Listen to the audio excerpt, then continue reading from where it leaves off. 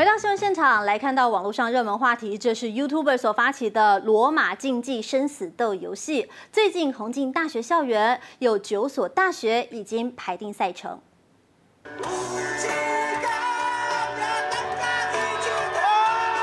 广场上，年轻人围成一圈，两名年轻人换上罗马战士装扮，玩起罗马竞技生死斗游戏，以炮而红，迅速红进大学校园。我这是退群的打法，以光右手为剑，手臂为盾，比赛还有一套详细规则，先夺十分者就获胜。疫情过后大解封，中部地区已经有九所公私立大学排定赛程，活动规模越办越大。其中彰化建文科大、大业大学都在六月份举办，学学生越玩越有心得，还有人自制道具，让游戏更加有趣。我觉得爽，很累，很好玩，然后很开心。我们玩这个活动以就是基本上安全为主啊，这个比较好玩。不过因为有学生在比赛时拿着尖锐的道具，为了避免同学受伤，因此校方决定将比赛纳入管理。态度上面，我们就说愿意啊让他们多尝试活动，但是呢，在防范的措施上面要更加的要求，就是包括像我们有戴帽子，有戴。